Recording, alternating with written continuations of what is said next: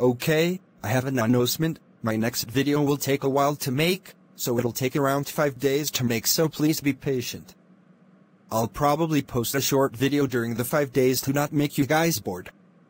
Also, I have another YouTube channel called Sir Watkins Extras. I think you should check it out.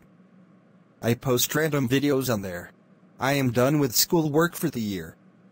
I finally got my exams done including my Spanish, maths, English, history, career prep, and PE. It was so hard. Why do I have a PE exam? In PE, I didn't even get to exercise in that class, because I am in virtual. I had to write worthless papers instead. Bye. Adios.